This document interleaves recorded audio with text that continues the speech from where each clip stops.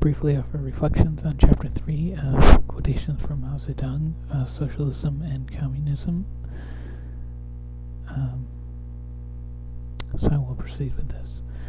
Um, just a couple of thoughts that stood out, although the whole thing is quite uh, important and not inglorious, you could say.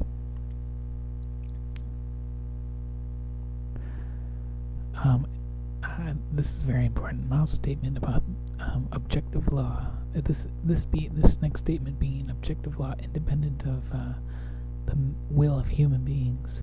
Um, that socialist the social system will eventually replace the capitalist system. He states this uh, as an outright objective law, um, independent of human will. I would think, though, that maybe there's some kind of over will, if you will, like a will of the species, the will of the masses, um, fundamentally more powerful, more just ma just massively more great than the will of the um, tiny capitalist class uh, overclass. Um, another very important point Mao makes in this uh, chapter is for um, the proletariat, the peasants, the common people, the masses, most people, not to hide their political views, um, especially communists. I think he's referring to, um, and socialists. Um, and I think he's, of course, urging people to um, cultivate a political view that is beneficial to themselves and and the persons who are like them, um, the common people, the masses, um, which is maybe more difficult today in the West and in the United States as um, our minds have been poisoned for so long by um, very effective mass media deployment, though um, with people selective. Uh, internet viewers are able to, uh, users are able to um, view material which is conducive to empowerment the masses and an individual's self. Um,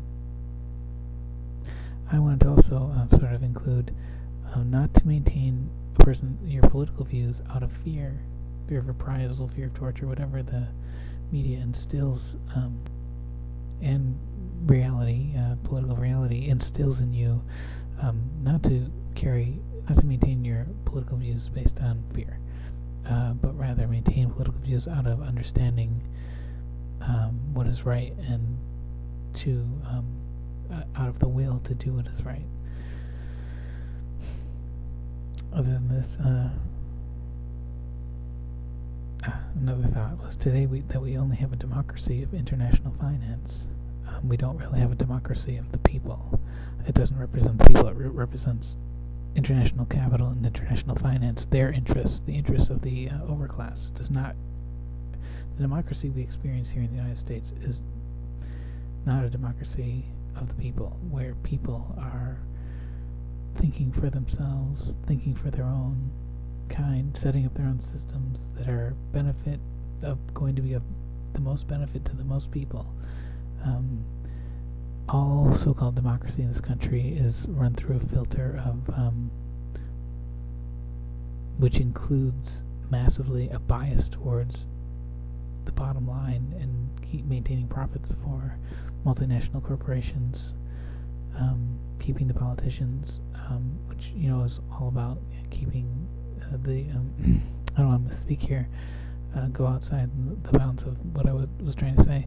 Um, just the corruption of the um, current political democratic system in which um, you know major corporations just buy politicians and bribery and legal bribery, the lobby lobby lobby thing. I'm just gonna do this the whole time. uh, other than that, uh, there was something else.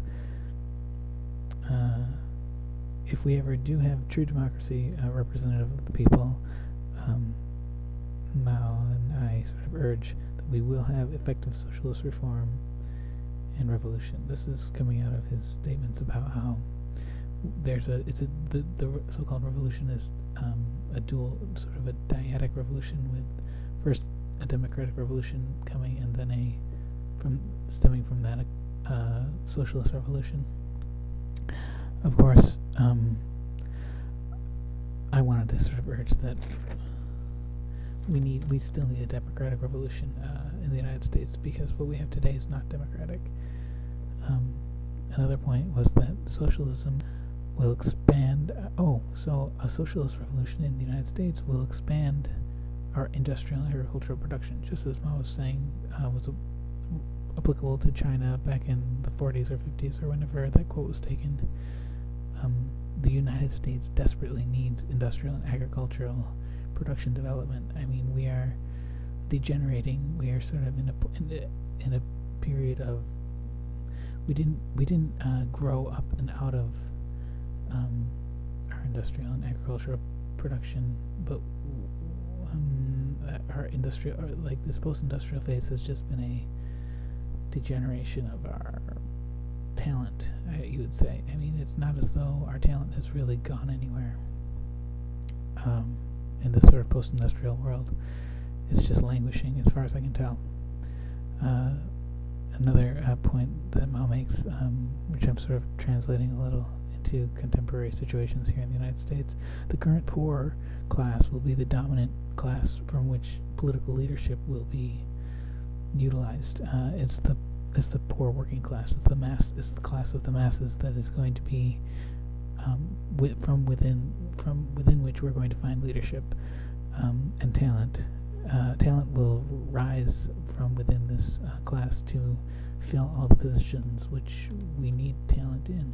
The masses are full of talent. There are there's a limitless pool of talent uh, among the poor and working classes, um, but we they are um, constrained by their economic um, and financial sort of um, reality, which is destitution. Um, once we free them from the massive limitations of the the bounds that international finance has on them, um, we're going to uh, witness a renaissance in uh, human affairs in the United States and the rest of the, the West and the rest of the world um, that is still uh, languishing under the tyranny of international capital.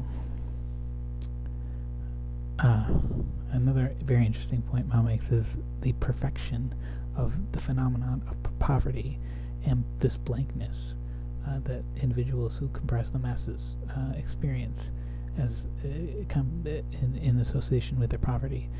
Um, this is perfect. Mao claims this is perfect because it is poverty that gives rise to the desire for change, which is what we need as revolutionaries to spur the revolution.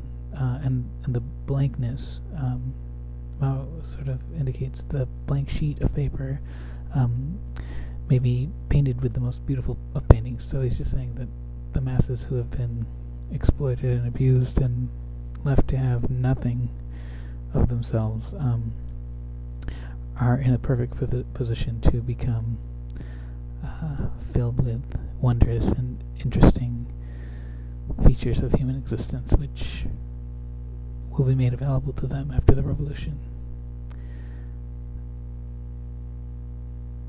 Uh, another very important point Mao makes is uh, the necessity of social revolution prior to ending the, uh, the prior to ridding the world and the country of state power. Um, I think this is a very important concept in communist and socialist theory, Marxist theory, that um, we need to strengthen the state and perfect the state, or approach perfection with the state, or try to perfect the state before we release the state. If we went to statelessness, statelessness now, it would be a um, a disaster. So, uh, and the final point was. Um, that the enemy, the current uh, capitalist upper class, will not be allowed to participate politics. Very important. The people will be encouraged, and not just encouraged, but it will be there. We will need the people to fulfill um, political uh, activity functions. I mean, this is going to be the primary role of the working classes to provide, um, to fill political needs and political tasks within the uh, within the nation and the government. Thanks for listening, and uh, I hope to continue uh, tomorrow. Good day.